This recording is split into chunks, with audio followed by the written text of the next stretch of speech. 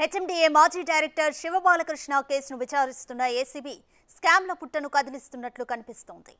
HMDA భూముల వేలంలో కూడా పెద్ద ఎత్తున అక్రమాలు జరిగాయని ఏసీబీ గుర్తించినట్లు సమాచారం. అంతేకాదు ఇప్పటికే ఈ అక్రమాలకు సంబంధించిన నివేదిక ప్రభుత్వానికి అందిందని ఇక దీంతో పాటు భూముల వేలం పాటలు ఆపాలని ప్రభుత్వం ఆదేశించినట్లు సమాచారం. ప్రభుత్వం నుంచి అనుమతి వచ్చే వరకు మళ్ళీ భూముల వేలం నిర్వహించొద్దని ఉన్నతాధికారులకు ఆదేశాలందినట్లు తెలుస్తుంది. రైట్ కంప్లీట్ డీటెయిల్స్ మా ప్రతినిధి రాణా అందిస్తారు. రాణా శివబాలకృష్ణ కేసుకి సంబంధించి ఇక హెచ్ఎండిఏ భూముల వేలంలో కూడా పెద్ద ఎత్తున అక్రమాలు జరిగాయని ఏసీబీ గుర్తించిందా? అలాగే దీనికి సంబంధించి నివేదికను కూడా ప్రభుత్వానికి అందించిందా? కంప్లీట్ డీటెయిల్స్ ఏంటి? హెచ్ఎండిఏ పేరులో దాదాపు ఆరు లేఅవుట్లలో అప్పట్లో హెచ్ఎండిఏ ఈవేలం అనేది చేసింది మోకిలా కానీ షాబాద్ కానీ అలాగే బాచుపల్లి కానీ మేడిపల్లి కానీ మరొక రెండు ప్లేసుల్లో కూడా ఈ యొక్క ఈవేలం జరిపింది. సో అప్పట్లో భారీ ఎత్తున కూడా దీనికి స్పందన వచ్చింది. ఎందుకంటే ప్రభుత్వానికి దాదాపు ఒక్కొక్క చోట రెండు వేల కోట్ల రూపాయలు వెయ్యి కోట్ల రూపాయల వరకు ఆదాయం వస్తుంది. ప్రభుత్వ ఖజానా నిండిపోతుందంటూ కూడా పెద్ద ఎత్తున కూడా అప్పట్లో ప్రకటనలు వచ్చాయి. చాలా పెద్దగా ఆర్భాటంగా కూడా వారు దీన్ని ఫోకస్ పెట్టుకున్నటువంటి నేపథ్యం గత ప్రభుత్వం. హెచ్ఎండే కూడా అదే రీతిలో కూడా దీన్ని ఫోకస్ పెట్టినటువంటి నేపథ్యం కనపడుతుంది ముఖ్యంగా ఇటు కోకాపేట భూములు కానీ ఇటు మోగిలలో వేసినటువంటి భూములు కానీ బాచుపల్లి భూములు కానీ మేడుపల్లి భూములు కానీ అప్పట్లో రెక్కలు వచ్చినటువంటి నేపథ్యం అయితే కనపడుతుంది ఇంత పెద్ద ఎత్తులో ఎందుకంటే వందల కోట్ల రూపాయలు ఎకరాలు పడకడం అనేది కూడా పెద్దలు అందరూ కూడా చాలా ఆశ్చర్యం వ్యక్తం చేశారు. కానీ ఈ అవకాశాన్ని అప్పుడు హెచ్ఎండి అధికారులు చాలా బాగా వాడుకున్నారనేసి కూడా ఏసీపీ విచారణలో ఇప్పుడు ఆ, నేపథ్యం అయితే కనపడుతుంది ఎందుకంటే ఈ హెచ్ఎండిఏలో జరిగినటువంటి భూముల వేలంలో భారీ స్థాయిలో కూడా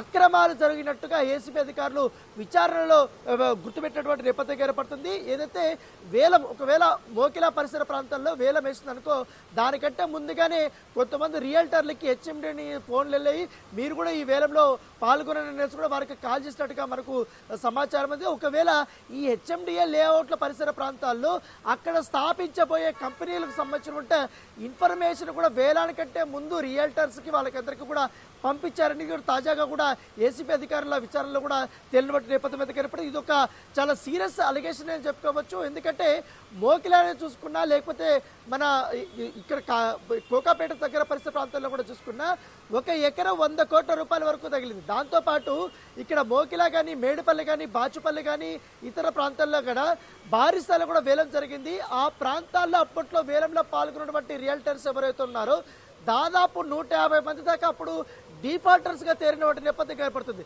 వేలంలో పాల్గొంటారు. అధిక అధిక రేటుకి వారు పాల పాడుకుంటారు. పాడుకున్న తర్వాత డబ్బులు కట్టరు. అప్పట్లో వేల పా వేలపాటలో పాల్గొనాలంటే ఎవరైతే పార్టిసిపేషన్ చేస్తారో వారికి లక్ష రూపాయల వరకు కూడా ధరావత పెట్టారు. సో ఆ లక్ష రూపాయలు కట్టారు కానీ వేలంలో చాలా హ్యాపీగా పా పాల్గొన్నారు కానీ తర్వాత హెచ్ఎండిఏ వేలంలో పాల్గొన్నట్టు వారు ఎవరు కూడా డబ్బులు కట్టలేదు. ఇప్పటి వరకు తిరిగి కట్టలేదు. అయితే ఇక్కడ ఒక పెద్ద స్కామ్ లాగా బయటపడిందని చెప్పుకోవచ్చు.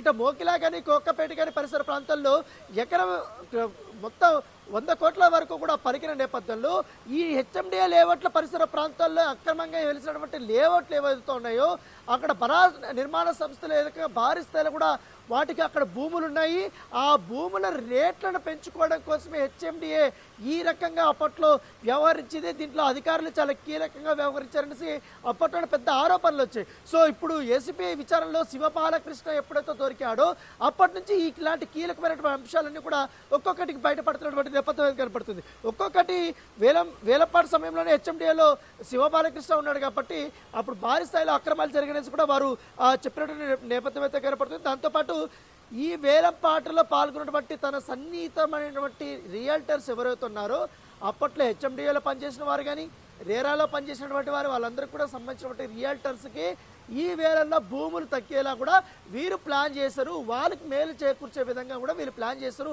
దాని కారణంగా వీరికి భారీ ఎత్తున కూడా డబ్బులు ముట్టాయి అనేది కూడా ప్రధానంగా ఏసీపీ విచారణలో తేలినటువంటి అంశం. సో. ఏసీపీ శివకృష్ణ శివబాలకృష్ణని ఎప్పుడైతే అరెస్ట్ చేసిందో కస్టడీలోకి తీసుకుందో రోజుకు ఒక అంశం అనేది బయటపడుతుంది. కీలకమైన అంశాలు బయటపడుతున్నాయి. ఐఏఎస్ ఆఫీసర్లు బయటపడుతున్నారు ఐపీఎస్ ఆఫీసర్లు బయటపడుతున్నారు అలాగే హెచ్ఎండీలో పనిచేసినటువంటి అధికారులు బయటపడుతున్నారు రాజకీయ నేతల యొక్క పేర్లు బయటపడుతున్న నేపథ్యం. కాబట్టి ఇప్పుడు తాజాగా ఏకంగా ఇప్పుడు ప్రభుత్వం ఈ భూముల వేలాన్ని కూడా ఆపేయాలి పూర్తిగా రద్దు చేయాలనేది కూడా నిర్ణయించుకున్నట్టుగా మనకు తెలుస్తుంది రాధిక. రైట్ రాణా ప్రస్తుతానికైతే భూముల వేలం పాటలు ఆపాలని ప్రభుత్వం ఆదేశించింది. అయితే మరి ఆల్రెడీ ప్ర వేలం వేసిన భూముల పరిస్థితి ఏమనుకోవచ్చు ఎన్నికలకు ముందు కూడా దీనికి సంబంధించి ఆరోపణలు వచ్చాయి కదా?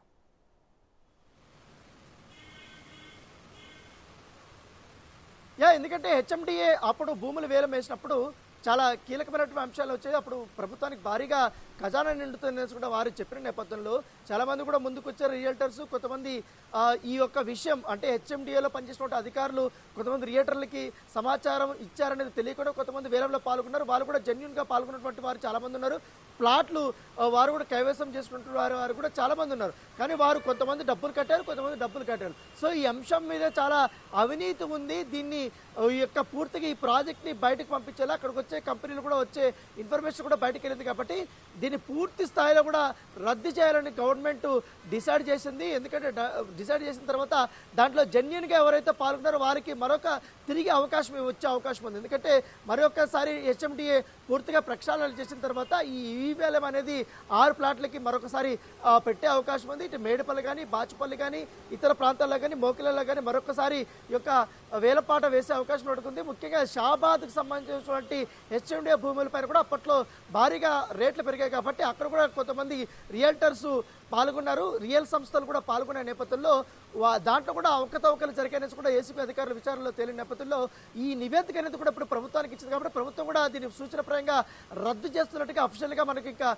ఇన్ఫర్మేషన్ వచ్చింది. దాన్ని రెండు రోజుల్లో పూర్తిగా క్లారిటీ వచ్చే అవకాశం- అవకాశం ఉన్నట్టుగా మనకు సమాచారం ఉంది. ముఖ్యంగా ఈ బహదూర్ పల్లి కానీ తొర్రూరు తొర్రూరు కానీ షాబాద్ కానీ ఇవి కూడా చాలా కీలకమైనటువంటి భూములే. ఈ భూముల్లో కూడా భారీ స్థాయిలో అక్కడ ఫార్మా కంపెనీలు వస్తాయని లేకపోతే ఐటీ కంపెనీలు బాగా పెరిగిపోతాయనేసి ఆ తర్వాత ఇతర సెంట్రల్ గవర్నమెంట్ సంబంధించినటువంటి సంస్థలు కూడా అక్కడ రాబోతున్నాయి. ఇక్కడ భూములు కొనుక్కుంటే ఈ సంస్థలకు మంచి జరుగుతుందనేసి కొంతమంది కావాలని రియల్టర్స్కి ఇన్ఫర్మేషన్ ఇచ్చినట్టుగా తెలుస్తుంది. సో అవన్నీ కూడా ఫ్రాడ్గా తేలింది కాబట్టి ఏసీపీ అనేక కోణాల్లో విచారించి ప్రభుత్వానికి నివేదిక ఇచ్చింది కాబట్టి వాటిని పరిశీలించిన తర్వాత పూర్తిగా ఈ వేలాన్నంతా కూడా రద్దు చేస్తూ పోతున్నట్టుగా మనకు సమాచారం Radhika.